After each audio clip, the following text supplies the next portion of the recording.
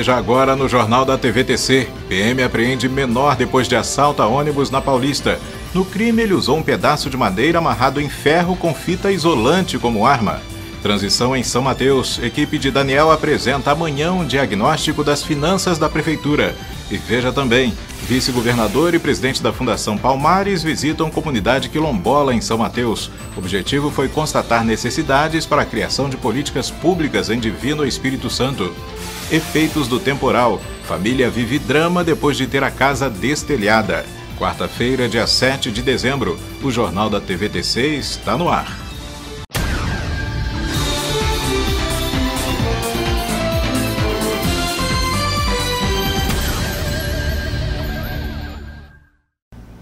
Boa noite.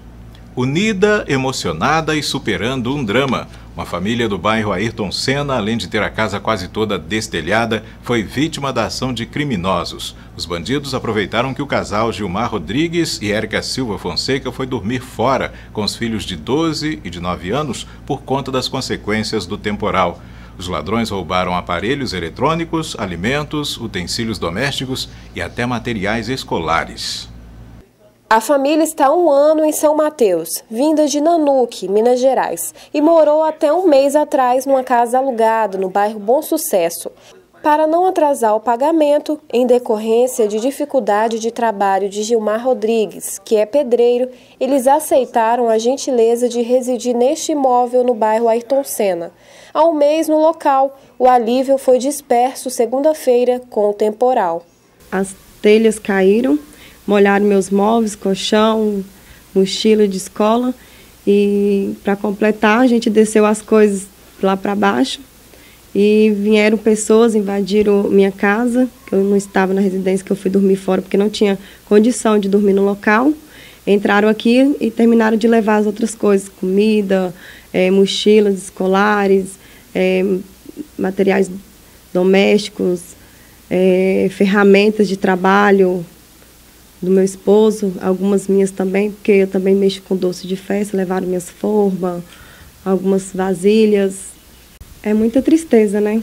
Pelo acontecido, que com a chuva a gente já estava meio já desesperado, e aí vem outras coisas que acontecem. Estamos todo mundo triste. Meus filhos choraram já, meu esposo está meio abatido, sem saber o que fazer, mas graças a Deus que Deus é, mostra que ele sempre está à frente. Pai e mãe trabalhavam e as duas crianças estavam sozinhas quando a casa começou a ser destelhada.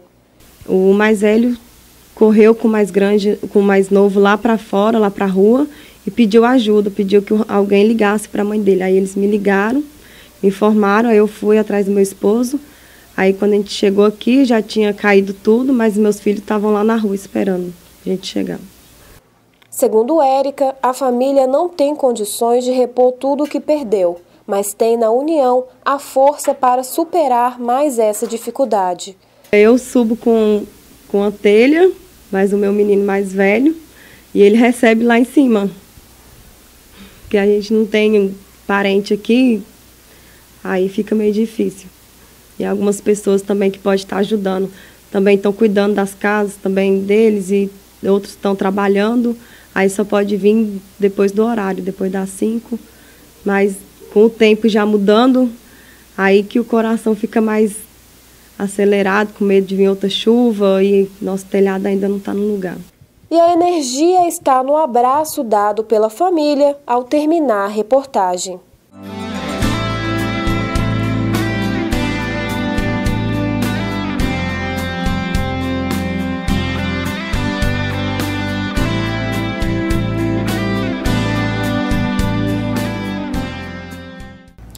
Érica disse que os filhos não estão indo à escola por falta dos materiais que foram furtados. Além disso, vários objetos foram levados por vândalos e, no momento, a família não tem condições de repor. Quem tiver interessado em ajudar pode procurar a família na rua Murilo Mendes, no bairro Ayrton Senna. Se você procura emprego, fique atento às oportunidades do Cine de São Mateus. O Cine tem vagas para auxiliar de dentista, costureira, operador de retroescavadeira, representante comercial, técnico mecânico, vendedor externo e vendedor interno. O Cine fica na Casa do Cidadão, em frente à Igreja Velha, no centro de São Mateus. Telefone de contato é 3763-2706. E você também pode participar da programação da TVTC, dê sugestões de reportagem ou mande vídeos ou fotos sobre algum acontecimento na sua rua, no seu bairro ou na sua comunidade. Envie para a gente pelo nosso portal tvtc.com.br barra tcnauta ou pelo WhatsApp da TVTC 99988 1625. E você vai ver depois do intervalo, a equipe de Daniel apresenta amanhã um diagnóstico das finanças da Prefeitura. E também, vice-governador e presidente da Fundação Palmares visitam comunidade quilombola em São Mateus.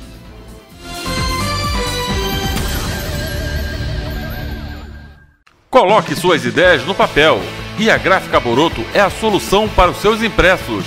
Preparada para suprir as exigências do mercado com qualidade, atendimento, preço e pontualidade na entrega impressos tão reais que vão mexer com seus sentidos. Gráfica Boroto 3763 4346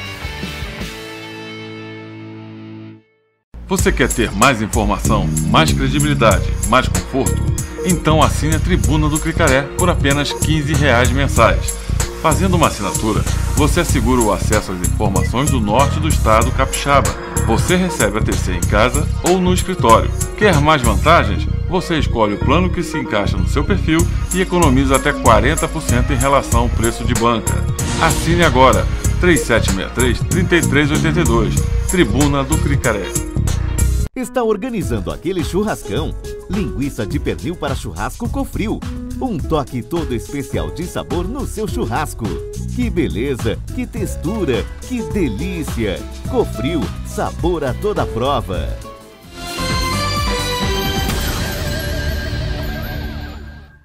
A equipe de transição do prefeito eleito Daniel Santana realiza uma reunião amanhã às 9 horas no espaço Pão de Mel, no bairro Ideal. O objetivo é de apresentar à imprensa e principalmente à sociedade mateense o real cenário das contas públicas da Prefeitura de São Mateus. As informações são do coordenador da equipe de transição, o administrador Isaías Calimã Buffon. Ele disse que a reunião terá a participação de todos os membros da equipe. O prefeito eleito, Daniel, deve participar da apresentação apenas como espectador. O coordenador destacou que a apresentação é destinada apenas à imprensa, mas que as pessoas interessadas no assunto não estão impedidas de comparecer. Será detalhado o levantamento feito pela equipe de transição, que analisou a evolução das contas públicas da Prefeitura em três tópicos: receita, despesa, principalmente as com a folha de pagamento, e dívidas. Também foram analisados setores como educação, saúde e assistência social. Pela primeira vez, o presidente da Fundação Palmares visita São Mateus, junto com o vice-governador César Conago e com o secretário estadual de Direitos Humanos, Júlio Pompeu. Ele conheceu a comunidade quilombola Divino Espírito Santo. O ato de reconhecimento da comunidade foi hoje pela manhã. O presidente da Fundação Palmares destaca que, por meio do projeto Palmares Itinerante, tem viajado vários estados do Brasil para conhecer as comunidades quilombola. Erivaldo Oliveira destaca que o objetivo é verificar as necessidades e depois criar políticas públicas que beneficiem as comunidades.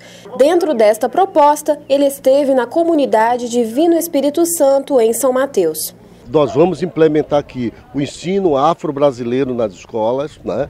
Nós vamos trazer os livros em, em janeiro desse ano, do ano que vem. Nós vamos introduzir aqui outras políticas públicas, cultural, né, para que as pessoas tenham diversão, tenham lazer, vamos trazer esporte. Então a gente precisa dar mais atenção às comunidades quilombolas. Não é apenas se certificar e deixar ela ao Deus dará. É certificar e a partir daí a gente elaborar políticas públicas para que aquela comunidade viva feliz, viva com sua produção, viva de acordo com a sua vocação econômica. Esse é o principal objetivo da nossa vinda aqui, juntamente com o governo do estado, o secretário de Direitos Humanos, para a gente resolver as grandes questões. E eu tenho feito essas parcerias no Brasil inteiro com os governos do Estado para que ajude as comunidades quilombolas.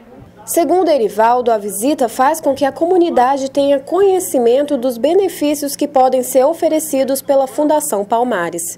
O que a gente quer nas comunidades é a sustentabilidade, que as comunidades vivam do seu próprio trabalho. Tá? Claro que aliado a tudo isso nós temos a educação, nós, nós estamos vindo aqui também para mostrar que existe outros tipos de políticas na Palmares, que não é só a distribuição de cesta básica, a gente tem o Bolsa Permanência, que é manter os alunos quilombola nas universidades. A gente dá uma bolsa todo mês para o aluno se manter nas universidades. É mostrar as políticas públicas da Palmares às comunidades quilombolas que ficavam isoladas, não sabiam os seus direitos, não sabiam os benefícios que a Palmares podia lhe dar. O vice-governador César Conago disse que a parceria com a entidade nacional vai contribuir para a valorização da cultura capixaba. No debate de ontem, ele também se comprometeu, junto com o secretário nosso é, da Cultura, João Galberto, e hoje aqui com o nosso secretário de Direitos Humanos, o Júlio Pompeu, de trazer pontos culturais, ou seja, fazer um, e trazer recursos dessa área para que nós possamos estar valorizando a cultura capixaba na sua diversidade. E, evidentemente, ele queria vir a São Mateus, pela história de São Mateus, e conhecer um quilombo. Então, nós trouxemos aqui no Quilombo Divino Espírito Santo pela sua capacidade de organização, pela sua história, e, e com certeza anunciando aqui essa parceria da Palmares com a Secretaria de Estado da Agricultura, Direitos Humanos, que cuida da questão é, racial. Então acho que é o momento da gente receber esse representante nacional e com certeza estabelecer parcerias para gerar bons frutos aí no futuro, principalmente na questão da cultura ligada às questões afrodescendentes, na gastronomia, na dança, nas suas expressões culturais tão importantes na região norte, na região sul, ou seja, no estado do Espírito Santo, a, importância do negro, né, é, da vinda dos negros, né, da participação deles na construção da sociedade brasileira. O prefeito Amadeu Boroto acredita que esta é a oportunidade para que a comunidade possa cobrar melhorias. A comunidade vai falar para eles a sua necessidade. Né? O importante é quando você ouve a comunidade. E a gente, é, com certeza, nesse papel das visitas, automaticamente tem depois o reconhecimento. Né? Ele vê que aqui não é uma uma comunidade que precisa de cesta básica, né? Aqui eles são produtivos, só que eles precisam de ajuda para produzir, né? Precisa de implemento agrícola, né? Precisa de mais terra, precisa de semente, de adubo. É esse é o papel da administração pública, é você ajudar. O secretário estadual de Direitos Humanos, Júlio Pompeu, destaca que a presença da Fundação Palmares é importante para que ocorram avanços na promoção dos direitos quilombolas é, é importante porque cabe à Fundação Palmares o processo de reconhecimento das entidades quilombolas, né? reconhecimento dos territórios quilombolas. Né? É, é, um processo, na verdade, casado, começa com a Fundação Palmares, dizendo, olha, essa comunidade aqui é uma comunidade quilombola, e depois o INCRA em processo de titulação, é, quando for o caso. Né? Nós já temos no Brasil comunidades que, que já são proprietárias da terra, então não há esse a necessidade dessa participação do INCRA. Né?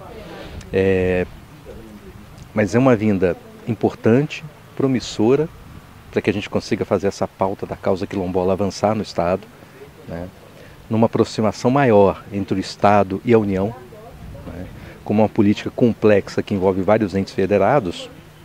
Se você não tiver essa aproximação, é, é, sem união, sem conjunção de esforços, nós não conseguimos ter avanço real nessa política. O prefeito eleito Daniel Santana e a futura secretária municipal da Cultura, Domingas de Aldina, que integra a equipe da Secretaria Estadual de Cultura, também estiveram presentes. Na roda de conversa, os moradores puderam apresentar as necessidades da comunidade composta por cerca de 117 famílias. O presidente da Associação Divino Espírito Santo citou uma delas. Porque hoje aqui nós não temos uma área de lazer para nossos, nossas crianças, para nossos jovens, para nossos adultos, né, terceira idade. E o mês retrasado, o governador teve aqui, né, a gente fez até um pedido né, de uma área aqui de lazer para a gente juntar toda a criança, jovem, adulto, terceira idade, né, para fazer um lazer mais para o nosso jovem não ir para a cidade se envolver com coisas erradas. Né. E um destaque nacional, o secretário de Previdência Social do Ministério da Fazenda, Marcelo Caetano, apresentou o projeto do governo para a reforma da Previdência. A reforma prevê uma idade mínima de 65 anos, tanto para homens quanto para as mulheres, e pelo menos 25 anos de contribuição para a aposentadoria. As novas regras devem valer integralmente para homens com 50 anos ou menos e mulheres com 45 anos ou menos.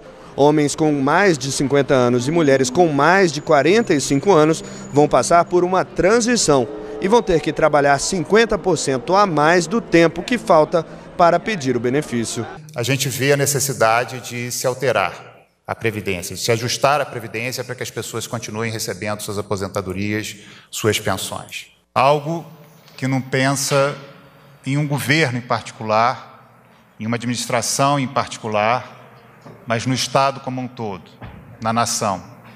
Algo perene, que dure por longos anos e que não necessitemos ficar fazendo várias reformas na sequência e pequenos ajustes. As mudanças se estendem a servidores públicos, inclusive dos estados e municípios, políticos e trabalhadores rurais, mas esses grupos terão regras de transição diferenciadas para o novo regime. Quem já tem direitos adquiridos não será afetado. Nada muda para quem já recebe o benefício ou completou as condições de acesso até o momento em que as mudanças entrem em vigor. Também há mudança na fórmula de cálculo dos benefícios. O valor da aposentadoria será de 51% da média de salários de contribuição, somado a um ponto percentual dessa média para cada ano de contribuição. Por exemplo, um trabalhador com 65 anos de idade e 25 anos de contribuição vai receber 76% do salário de contribuição nenhum aposentado vai receber menos que um salário mínimo e não haverá aumento de alíquotas ou tributos. O pagamento de pensões por morte e o benefício de prestação continuada, o BPC, pago a idosos e pessoas com deficiência de baixa renda, também terão novas regras. No caso das pensões por morte, quando o aposentado falecer, a família passará a receber 50% do valor do benefício, mais 10% por cada dependente. A pensão por morte não poderá ser acumulada com outra aposentadoria ou pensão. Caberá ao pensionista escolher a que lhe for mais vantajosa. Já o BPC terá o valor definido em lei e a idade mínima para solicitar o benefício passará de 65 para 70 anos, com uma transição gradual por um período de 10 anos. O governo estima que entre 2018 e 2027 a reforma leve a uma economia de 678 bilhões de reais aos cofres públicos, apenas com os benefícios do INSS e o BPC. Agora a gente está caminhando na direção de uma previdência sustentável e não aquela em que o gasto sobe e depois trará, traria consequências muito ruins para a economia. O consumo de produtos piratas caiu no Brasil. Em 2011, 52% dos brasileiros admitiam comprar esse tipo de produto. Agora, em 2016, o índice caiu para 32%. Mas, de acordo com a Federação do Comércio do Rio de Janeiro, responsável pela pesquisa, o número ainda é considerado alto. Por isso, no Brasil, a primeira semana de dezembro é dedicada ao combate à pirataria. Os centros comerciais estão cheios deles. Muitos fazem referências a marcas conhecidas, mas são apenas imitações. Mesmo assim, três em cada dez brasileiros admitem consumir produtos piratas. A região norte lidera esse índice. 38% dos entrevistados já adquiriram esses produtos seguida da região Centro-Oeste com 37%, Sul e Sudeste ambas com 32% e por último a região Nordeste com 28%.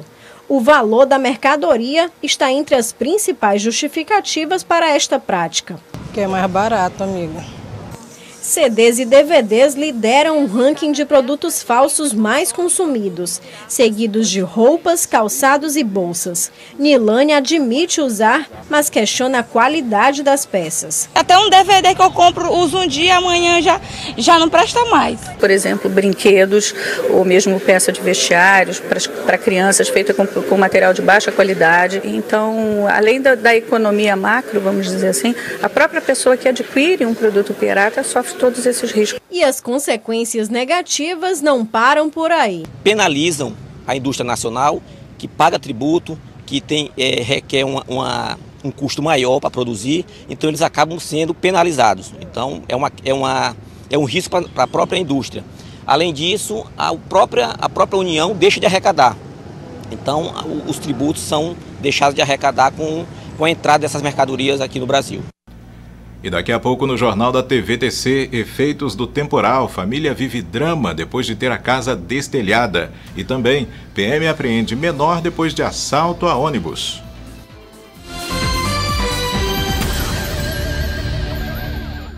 O CEP de São Mateus proporciona a seus associados atividades sociais, culturais, recreativas e esportivas, estimulando a integração comunitária. Salão social, auditório, ginásio de esportes, sauna, academia, parque aquático, playground, campo oficial e society, campo de bocha, pista de atletismo, sala de jogos, restaurante e lanchonete. Pratique esporte no CEP, um dos melhores centros esportivos do estado.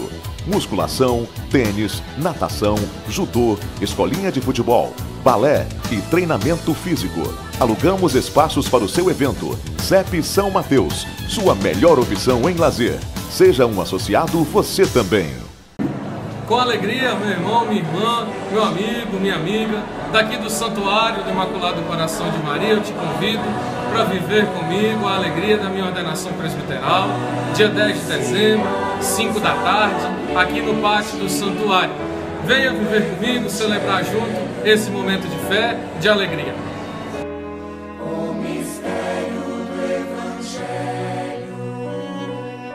As suas refeições ficam muito mais saborosas com o presunto Cofrio. Muito mais qualidade, muito mais sabor para o momento mais delicioso do seu dia. Tudo com presunto Cofrio fica muito mais gostoso. Cofrio, sabor a toda prova.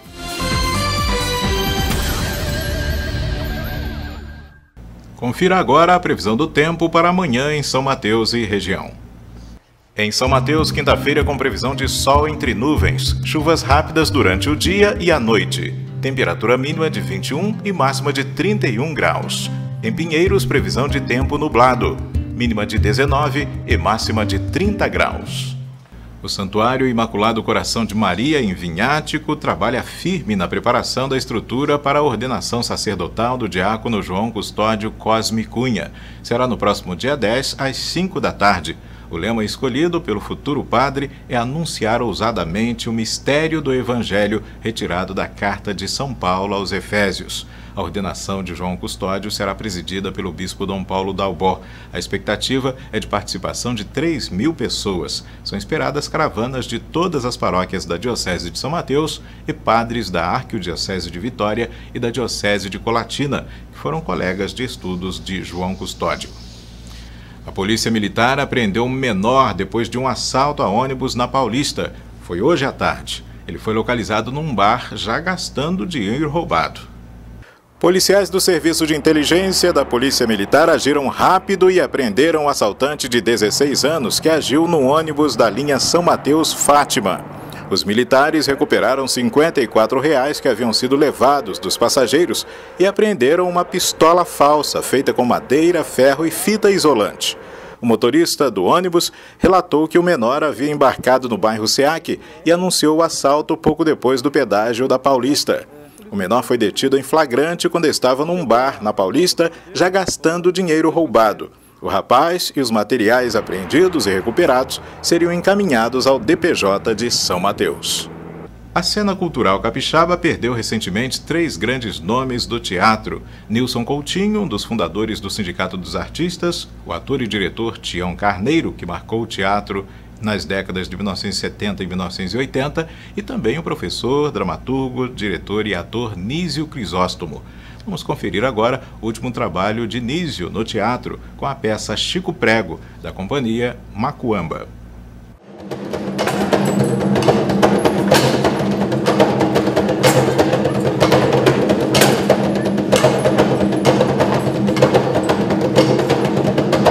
Companhia, ela, na verdade, ela tem 15 anos de atuação no cenário capixaba, né? E tem uma proposta de trabalhar com linguagens das tradições da cultura popular brasileira e, lógico, capixaba, né? Então, é, sempre a gente trabalhou em cima do, de, de, tradições como paneleiras, né? A questão de outros fatos históricos do Espírito Santo, né? E no, no, no, no espetáculo, especificamente nesse espetáculo, Chico Prego, é, a gente cuida de, do personagem Chico Prego, mas que tem como pano de fundo a insurreição de Queimado, que foi uma insurreição em 1458, em que houve uma promessa de uma, da construção de uma paróquia de São José na, no município da Serra e em troca os escravos teriam alforria. Né? Isso é, é, é relatado por vários historiadores, foi pesquisado em vários historiadores e a gente ressignificou como um espetáculo para teatro. Né? Então Chico Prego, na verdade, ele é só é, um personagem para trazer uma história, uma página da história do Brasil. Jesus, a construção de uma igreja queimada, neste local. E precisa da ajuda dos cativos na construção. Os fazendeiros irão doar uma boa quantia em dinheiro. Ele foi um prêmio de edital da Secult, um prêmio residência de montagem, com intercâmbio com o diretor Sidney Cruz do Rio de Janeiro, né? que é um diretor bem conceituado do Rio de Janeiro, no Brasil todo, por todos os espaços que ele trabalha. E foi um trabalho que demorou cinco meses para a construção de pesquisa, enfim, de dança, com o Gil Mendes na coreografia, com pesquisa de danças africanas, principalmente matrizes africanas do Espírito Santo, que tem uma relevância no espetáculo da questão do Congo, que só existe aqui, a questão de utilizar casaca. Todo, todo o espetáculo é cantado ao vivo, né? ele é todo ao vivo, não tem sonoridade artificial. Né? E depois ele ganhou o prêmio Circulação, depois ele ganhou o intercâmbio no Rio de Janeiro latino-americano, depois ganhou o prêmio Miriam Muniz é, de teatro né, no Sudeste. Então é um espetáculo que foi reconhecido, que está sendo, as pessoas estão gostando, e nós mais ainda, porque para nós artistas ter a oportunidade de ficar três anos em cartaz com o espetáculo é uma coisa assim é maravilhosa, né? Tem pessoas maravilhosas no elenco. O José Augusto Loureiro, que é um ator que tem 70 espetáculos no currículo, né? Tem a, a Monique Rocha, que é uma cantora que está estourando aí com o trabalho dela também. É, e, enfim, tem o, o Neil Schaefer, o Bené Freire, o Tiago Folador, que são dois músicos fantásticos, o Tiago e o Bené, no, nos atabaques, porque é tudo é, é uma linguagem de batucar, dançar, cantar. Então, assim, todos são profissionais da música. A luz é do, do Sebaba Rodrigues. A direção musical foi feita pelo próprio grupo, com letras que eu construí dentro do próprio texto e algumas domínio público.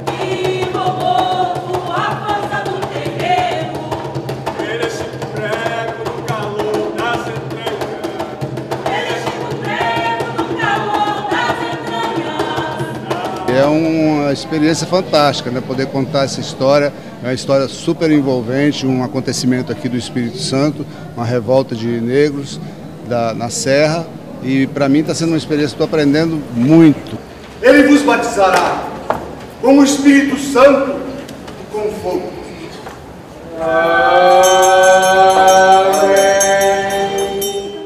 Me remetido na história, como se eu estivesse em 1849, ali acreditando numa fala, acreditando numa luta e, e fazendo uma igreja mesmo, até pelo, por, por esse ato ecumênico.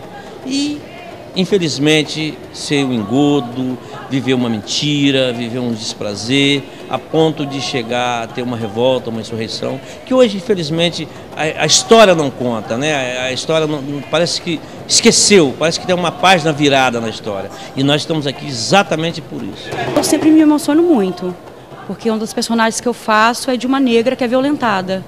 Então eu estou representando não só o negro também, né? Toda, toda as mulheres e e várias violências que, né, que várias delas sofrem, né, que sofreram no período da escravidão e que sofrem até hoje, né.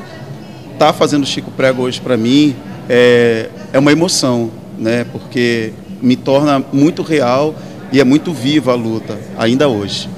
Esperar esse capucho safado falar da alforria! Ih, cativo arrogante! Bota esse negro no ferro! No ferro não, pai! Ele só está desabafando. Jornal da TVTC está terminando. Você pode rever o conteúdo desta edição acessando o nosso portal tvtc.com.br/vídeos. Obrigado pela audiência e uma boa noite para você.